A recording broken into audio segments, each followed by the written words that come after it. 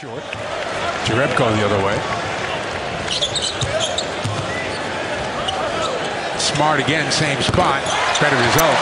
No Irving, but uh, Love did play. Yeah. Now he got the defensive plays. He's made some nice defensive plays this year at crunch time.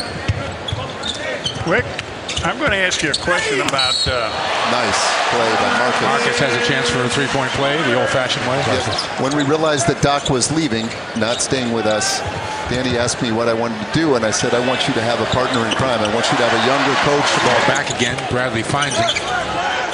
Back out to Avery. Good look at a three. Boy, they set a pickup, and Bradley sat right behind it, and really a perfect pass by Marcus.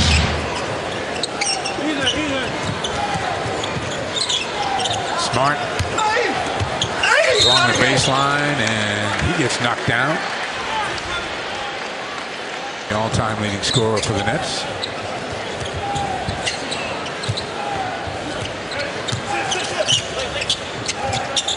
Brown knocks down a three. Inside the Smart. Five on the shot clock. He's got Lin on him. Turns and draws the foul. Boston right now has got to pay attention on both ends of the floor. Kelly squeezes home two. I don't know how he did that.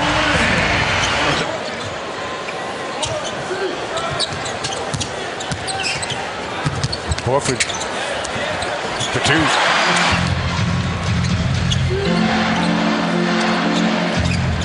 Smart.